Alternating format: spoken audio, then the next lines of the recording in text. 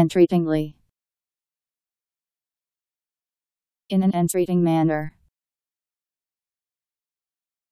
E N T R E A T I N G L Y.